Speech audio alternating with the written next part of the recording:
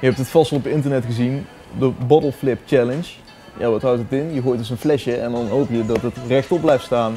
Wij kunnen als Eindhoven's Dagblad natuurlijk niet achterblijven, dus ja, wat doe je dan? Geef je de stagiair een paar flessen.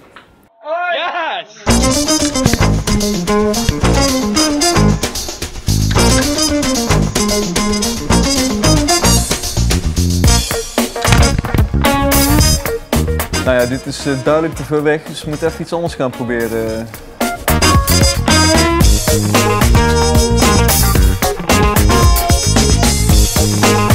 Dit eh, werkt ook niet, het is veel te glad. We gaan even, even krant eronder leggen of zo. Gewoon een beetje stevige ondergrond, doet hij het vast wel. Dat is wel mooi.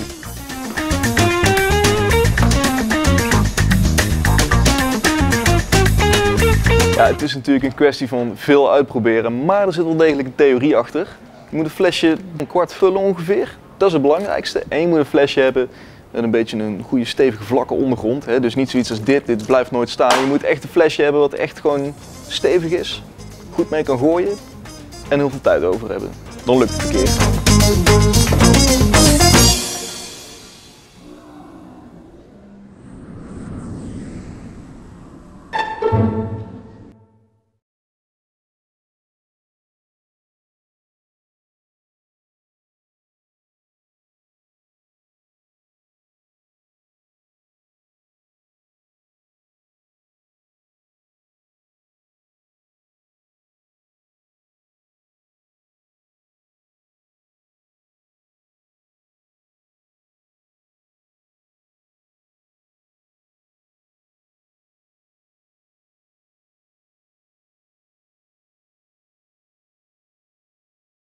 Vullen.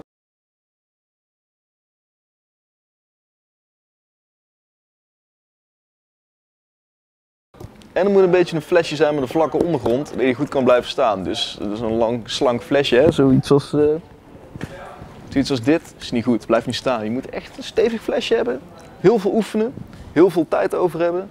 En dan lukt het misschien een keer.